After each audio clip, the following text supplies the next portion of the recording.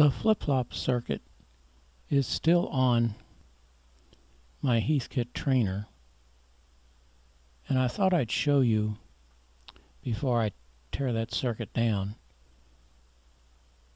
some things that I did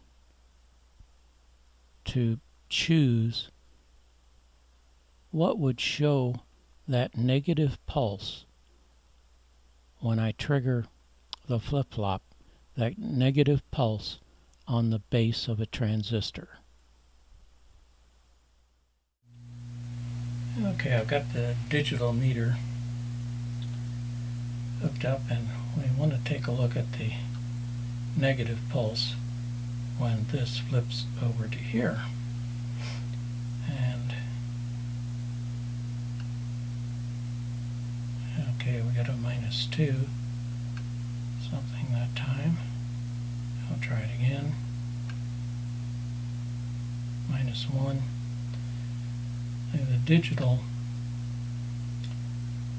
has a tough time with that. That's minus 3. Not very consistent, but of course if I was setting voltages, uh, the digital meter would be the first thing that I would grab. Okay, now this analog meter has been set up to read negative voltages. Okay, now I'm going to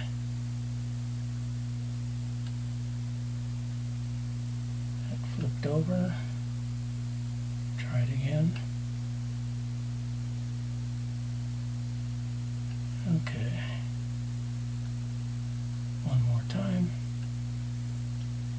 So that shows a nice negative pulse and consistent. Okay, now we're going to try the scope. Okay, now here comes the negative pulse. Set this up again. Here comes the negative pulse again.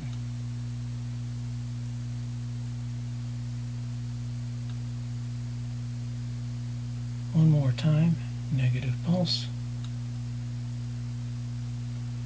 Well, that looks pretty good and very consistent. Out of the three, the digital meter, the analog meter, and the oscilloscope, the oscilloscope is the most accurate, but I think the analog meter for a video gives the best results for showing the negative pulse. Okay, what we're going to do is demo that negative pulse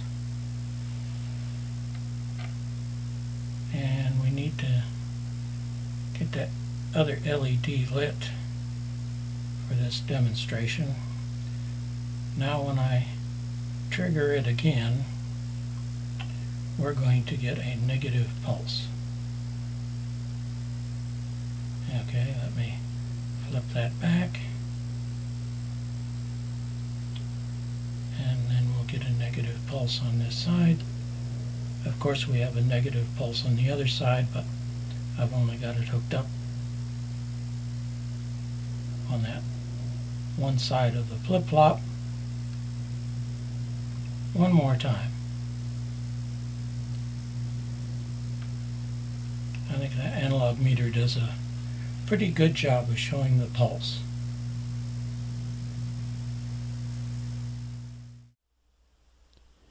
Here's how I did that, and this is the setup. Two video cameras, and the sound is recording on both cameras, which I'm going to use to sync up the videos in the video editor.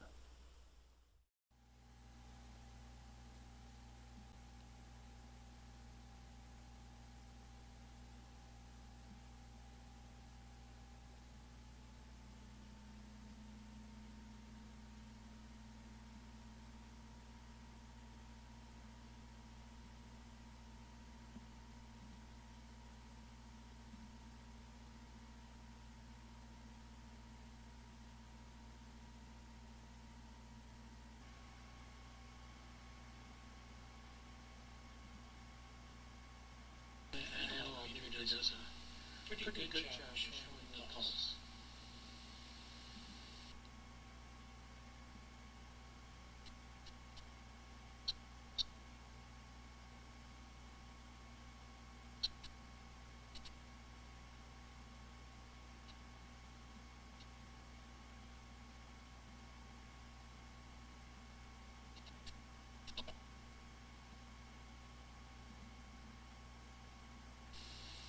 I think the analog meter does a pretty good job of showing the pulse.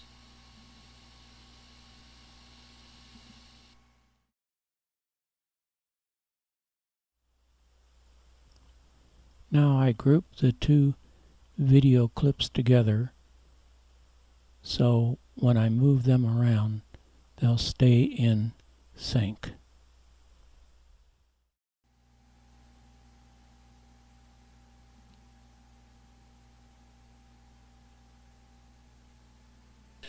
other LED lit for this demonstration. Now when I trigger it again, we're going to get a negative.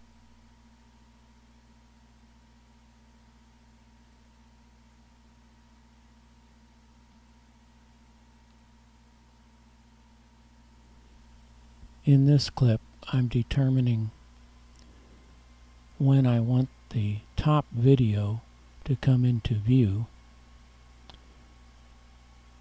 and then when it is in view I click on it and that allows me to resize that video and also position it on the screen where I want it.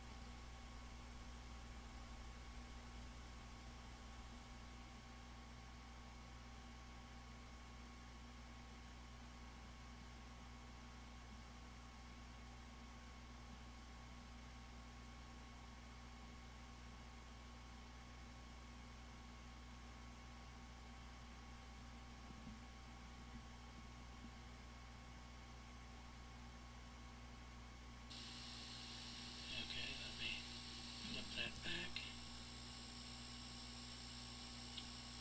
And then we'll get a negative pulse on this side.